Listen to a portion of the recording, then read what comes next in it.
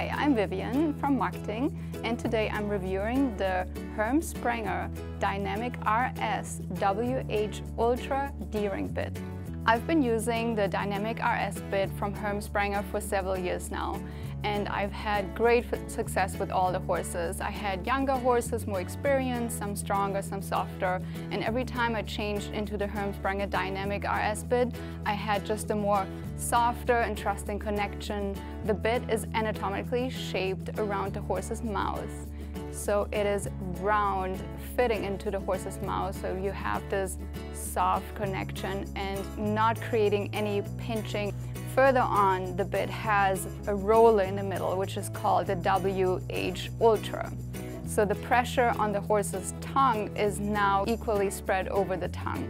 All these components of the bit come together and make the horse accept and feel more comfortable with the bit. As you can see, the bit has a little bit more of a white gold color, which is the new Sensogan from Herm Sprenger. This material is even friendlier for the horse, so it will have a really great taste for him and even more production of the saliva. This bit comes in three different sizes, so you can just choose the perfect fit for your horse's mouth. To care for this bit, I personally just use water and maybe a towel, but you can clean it like any other bit with bit wipes or any other cream or anything that you use for your other bits.